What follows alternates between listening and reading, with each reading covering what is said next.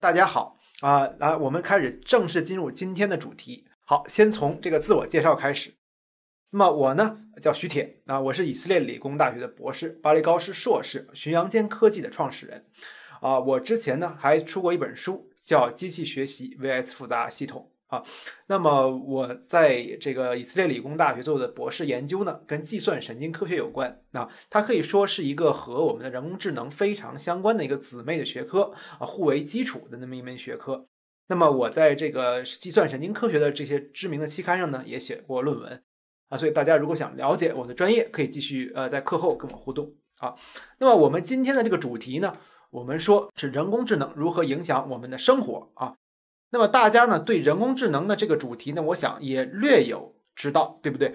既然是来到这个课上，肯定是说已经知道这个概念，嗯。那么你们心中认不认为人工智能将会是一场革命啊？这是我们可能课这个节课的第一个小的主题啊。那么。我们说呢，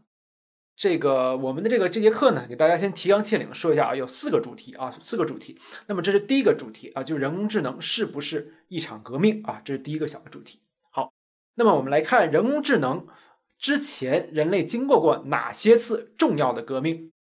我们说呢，第一次最早的这个就是我们人类从这个蛮荒进入到一个有文明，是叫农业革命啊。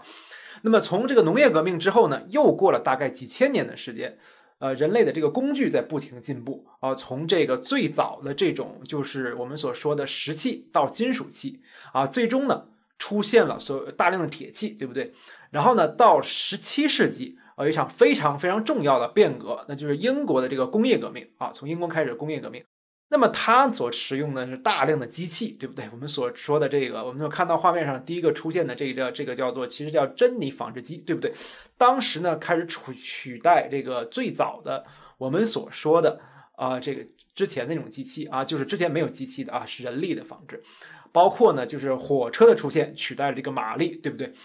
啊，对，然后呢再从这个工业革命之后呢，然后最后出现了这个电力的革命，电力的革命呢。会带来什么呢？电力的革命带来了就是我们所谓的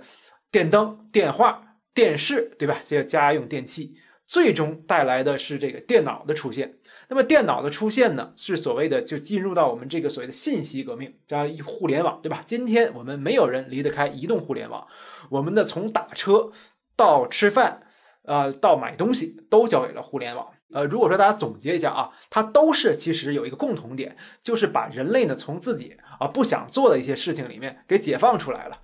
那么我们看这个农业革命呢，是最早的没有农业革命的时候，人得打猎去为食，对不对？那么每天并不知道今天能不能吃饱饭。那么有了农业革命以后，我们不需要打猎，我们可以等待作物去自己去生长啊。有了工业革命呢，工业革命呢就不用说了，对不对？我们以前的人需要大量的去做的一个事情呢，就是需要啊这个手动手动的去做工具，对吧？那么现在呢，用机器来来打造这些工具，那这个效率啊，就把人从这种繁琐的这种劳动中去给给给解放出来，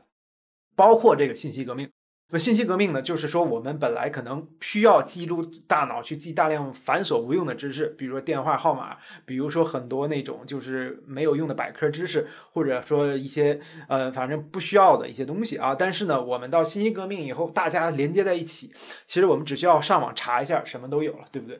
那么我们人一次一次的被解放出来啊，一次一次被解放出来。那么我们说呢，呃，这个 AI 啊，是不是称得上一场革命呢？啊，认为是一场革命的，点一；认为算比比不过上面几场同学的，呃，就可以点一个零在下面啊。那大家认为是能够超过超越之前的这些革命，还是实际上不如之前的革命重要呢？你可以用你的数字哎来投票啊。好，那么对，那么我们说呢，呃，大家如果认为。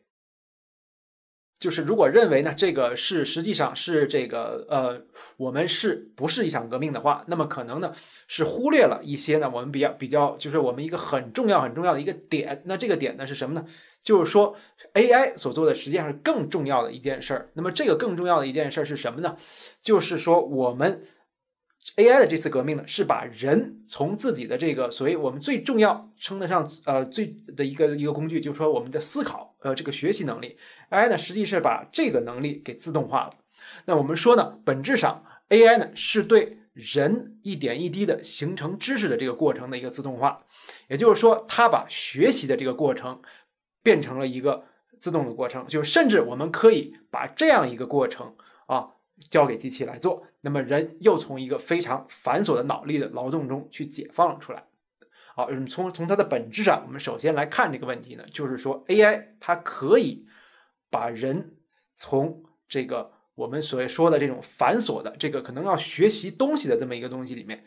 去解放出来，也就是说，AI 在取代的是就是人的一个就是认知的方面的一个能力。那么我们来看一下这个过程啊，首先我们来看，那么说如果说能够进行的话，那么大家看，显然它能够起到的这个作用是不会亚于之前的几次革命的。嗯，首先呢，如果说，呃，我们的这个。大家可以想象，我们这个在呃大量的这个做的这个工具的设计啊，之前像机器的设计，这些所有的东西，其实呢都是在我们人的这个啊形成了经验积累的知识的基础上才能够去做的一些事情。那么假定我们说呢，如果说我们本身没有这些啊，就是说我们我们不需要去。经过这个过程，也就是说，就是说，我们需要日积月累，一点一点的从我们所积累的经验里面去提取知识的这么一个过程的话，就可以去自动的生成知识、生成逻辑、生成我们所说的这个呃算法啊。那么这样一个过程，实际上我们会大大的加速我们就是说。改变这个自然或者说生产工具的一个效率，对不对？那么显然，这将是比之前的所有的这些革命可能来的更彻底的一个东西，因为它是把人最本质的一个东西，也就是人学习和形成知识过程本身给自动化了，把人从这样的一个过程中解放出来。那么显然，它所能够起到的作用是无与伦比的，就是说，我们可能会这个我们形成知识，我们去学习的这个过程可能会因此。大大的加速啊，就处理信息的能力啊，我们可以叫做通通通常的称作这个处理信息学习这个能力会大大的加速。好，这道题我们再做一下。那么你认为 AI 是一场革命的原因啊？那么有 A、B、C 三项。第一，这个 AI 可以替代人的劳动；第二，AI 可以制造和人一样的机器人；第三，AI 是对。人产生知识过程本身的自动化，那么你认为是什么原因使得它是一场革命？那么我刚刚讲过的这是第一个知识点。那么大家如果啊听完了的话，应该可以很容易的选出 C 答案。